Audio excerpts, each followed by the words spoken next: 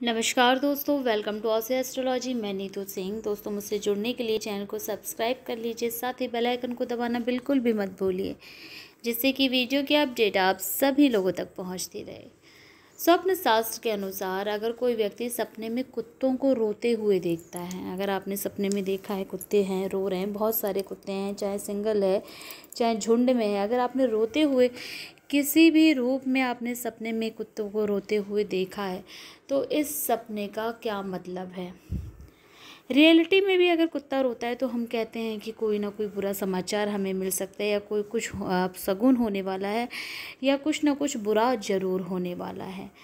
Same यही सपने का भी अर्थ है।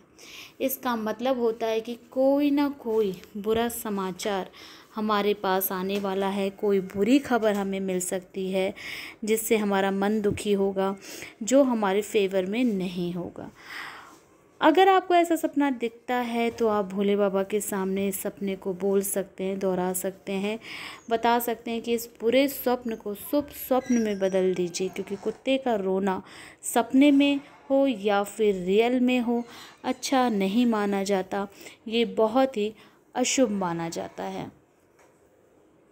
दोस्तों, अगर आपको वीडियो मेरी पसंद आई, वीडियो लाइक करें, शेयर करें, मुझसे जुड़ने के लिए मेरे चैनल को सब्सक्राइब करें। फिर मिलेंगे। जय माता दी।